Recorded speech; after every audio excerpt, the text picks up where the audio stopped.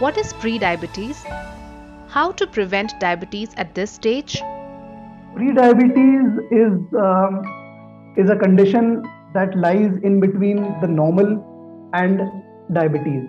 So it is um, an intermediate state of affairs in which uh, the glycemic control is being is, is deteriorating, but it has not yet approached uh, a diabetic uh, level.